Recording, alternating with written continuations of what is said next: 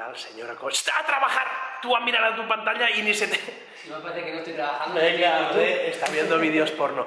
Os dejo aquí abajo un vídeo mega guapo, chulo, que ha hecho Merced con la ayuda de Odei, de Borja, de Esther, de todo Gordon Sin en general, mío no, que estaba en la tita, pero de los demás dejo el link aquí abajo de- del teaser que ha hecho de la carrera de Orbea Monegros, que es una pasada. Lo dejo aquí abajo, a ver si lo veis, lo comentáis, lo compartís y lo disfrutáis, que a mí la verdad es que mi hermanita me ha sorprendido y me ha gustado mucho eh, lo que cuenta, cómo lo cuenta y cómo irá el documental.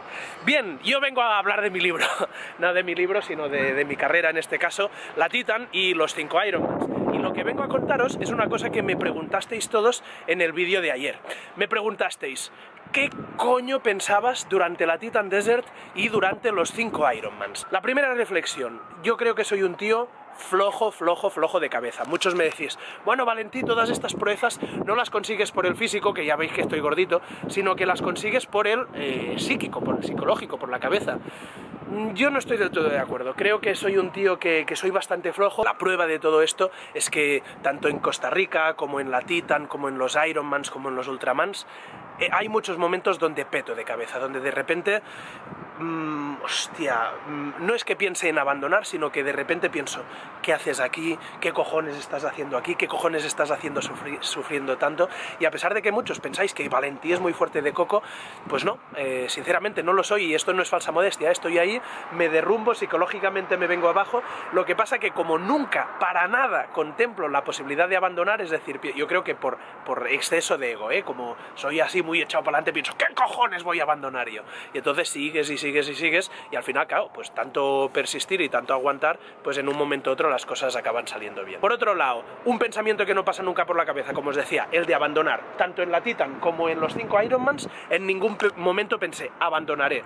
Lo que sí que pensaba muchas veces es, me van a venir a recoger porque no puedo más, pero el hecho era, hasta que yo no pueda más, aquí no se para ni Dios. Eso también lo, lo pensé en la Madrid-Lisboa y en ese caso, en esa carrera, literalmente me tuvieron que venir a recoger. Pero el hecho de abandonar no pasaba nunca por la cabeza. Creo que es una buena actitud, al menos para mí lo es, el hecho de decir, es que si paro va a ser porque me lleven por las piernas por delante. Y entonces, bueno, es algo que, que te da seguridad en ti mismo porque cuando estás ahí en carrera piensas, vale, yo he tomado la decisión de abandonar, no abandonar, con lo cual, si abandono que sea porque ellos me han llevado. Fue mucho más fácil la Titan Desert porque, esto os lo contará Víctor de, de Matform, eh, o Marc, o, o- o incluso Miquel Ángel, que lo que hacía es, como, como Gordon Sin trabaja para Matform, lo que hacía es, de repente me juntaba con ellos y les decía, oye, eh, cuando íbamos en grupo, sacarme temas de trabajo. Entonces diréis, coño, pero ahí no ibas a disfrutar. Sí, pero como hay momentos donde hay etapas de 8 o 9 horas, es importante tener la cabeza distraída con lo que sea. Entonces yo ahí de repente les decía, oye, y empezábamos a hablar de números, de si en tal red hacíamos tal cosa funcionaría mejor, gustaría más a la gente, tendría más repercusión, y hablábamos desde cliente a agencia, Matform como cliente y Valentí como agencia. Entonces ahí recuerdo esas horas, esas horas con mucho cariño y con mucha diversión. Eh, pensé mucho en Visto lo Visto, en el próximo programa que tenemos el 22 de mayo. Pensé mucho en estrategias que tenemos para clientes. Ahora mismo estamos trabajando mucho para Planeta, para Estrella Damm, eh, estamos trabajando mucho para Coca-Cola y, y la verdad es que saqué ideas muy guapas en el hecho de ir ahí. Otra cosa que hice mucho en, en la Titan fue hablar con todos. Como me, me metí ahí en grupo, te pones a hablar tití, tata, y hablar de cualquier cosa, hablar de la vida, de a qué te dedicas, de en qué carrera lo pasaste peor, de tú a qué conoces a este otro. O sea, el tema de hacer, en catalán decimos safrech, eh, chafardeo, ¿no? Como si fueran una peluquería, ah, este con este no se lleva bien. Cualquier excusa que te tenga la mente distraída hace que tengas kilómetros gratis, porque de repente te pones a hablar 20 minutos y hostia, no estás pensando en si estás puteado, jodido, pasando por dunas, o si estás con la rueda deshinchado, si las piernas no pueden más, o si tienes rampas. De repente lo que hace tu cabeza es clic y se pone a pensar en otras cosas. Yo creo que para Ironmans y Ultramans esa es, para mí, una, una de las claves. Claro, eso en la Titan fue mucho más fácil porque al tener a gente ahí me ponía a hablar y listos. Pero en los Ironmans, que iba solo, bueno, sí, iba con Merced, Borja y Odey, pero ellos no estaban a mi lado todo el rato, simplemente, yo qué sé, cada 10 kilómetros les encontraba. Así que en, en los Ironman sacar la cámara cada vez que podía y empezar a largar chorradas como esta. Y justamente en este punto kilométrico el paisano tiene que decidir si quiere ir a dormir o a reírse. Y si quiere ir a dormir se va a coger el cojín. Y si quiere ir a reírse pues se va para la monda. ¡Pa! Una mierda estas bromas, pero para mí en ese momento era pensar una broma, darle vueltas, volver a grabarla porque no se había grabado bien. También hubo momentos donde de repente estaba muy puteado y como estaba tan puteado me pensaba una bronca para pegarles a Merced, a Borja y Odey. Y entonces esa bronca la iba repitiendo por dentro, porque esto no puede ser, porque coño, el desnivel, el no sé qué, el tal, el de esto. Y llegaba a decir esa bronca por dentro tantas veces que luego al final no, no, se la pegaba a ellos. Primero porque no se la merecían, pero segundo porque al final pensaba, coño, si lo que tenías que sacar ya lo has sacado internamente. Y eso me funcionaba muy bien.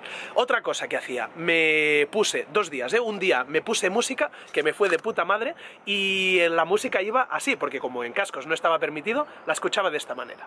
Bueno, Merced, ¿qué estás haciendo? Estoy preparando a Valentí el Spotty y se lo voy a sincronizar con el EV Boom.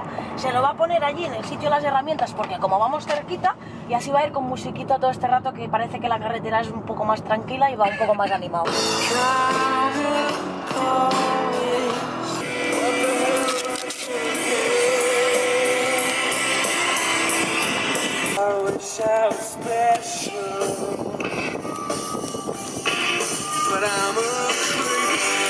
Cosa que me salvó la vida el día que estaba más jodido, el día 4 y 5, que no había mucho desnivel, pero el cuerpo ya, ya no rendía más, ya no daba para más, hice una cosa brutal, que fue de repente bajarme el podcast del partido del Barça del día anterior y como estaba ya, coño, gol, gol, Messi, no sé qué, tal.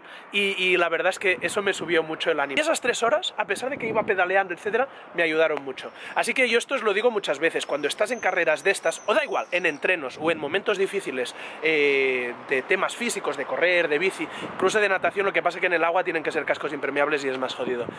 Cualquier cosa que te distraiga de lo que en ese momento te está jodiendo, que puede ser la subida, puede ser los kilómetros que faltan. Tú cuando de repente estás en la bici, os lo juro, ¿eh? a mí cada día me pasaba igual. Subía la bici después de nadar, eh, me pegaba los primeros 20 kilómetros en, en, 40 minutos, 50 minutos, lo que sea, y de repente decía, toma, qué bien. Y de repente miraba y decía, buah, tío, llevas 20 kilómetros y te quedan 160 y luego una maratón y luego cuatro Ironmans más. Y como eso me destrozaba la cabeza, lo que hacía era no ir mirando mucho el de kilómetros y buscarme estas excusas. Un podcast de radio, un informativo, saber cuáles eran las noticias del día, de repente preguntar, Odey, Merced, Borja, ¿qué están diciendo en Twitter o tal? Y entonces, o pe pensarme en la bronca que les iba a pegar.